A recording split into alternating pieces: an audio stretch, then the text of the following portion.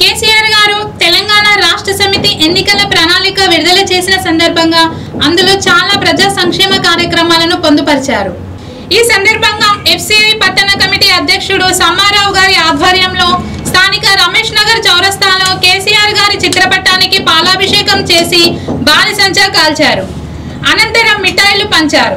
ఇంకా ఈ కార్యక్రమంలో కార్పొరేటర్ నరేష్ జలపతి మరియు తెలంగాణ రాష్ట్ర నాయకులు Chandramouli Satish Gangaram Kamal Tirupati Shravan Harish FCI town youth అధ్యక్షుడు త్యాగం చంద్రమోహన్ మరియు అధిక సంఖ్యలో తెలంగాణ రాష్ట్ర నాయకులు పాల్గొన్నారు.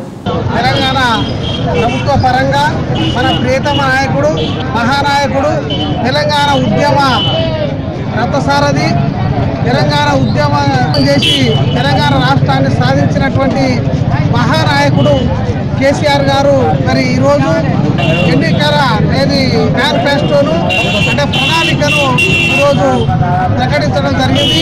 మరి కష్ట సుఖాలు ప్రజల యొక్క కష్ట సుఖాలు తెలిసినటువంటి మహానాయకుడు కాబట్టి మరి వారి యొక్క కష్టాలను గమనించి మరి ఈ యొక్క రైతుల పరంగా కానివ్వండి అదేవిధంగా నిరుద్యోగుల గురించి అదేవిధంగా ఆసర పెన్షన్ల గురించి వృద్ధుల గురించి ఒంటరి మహిళల గురించి మరి వారి యొక్క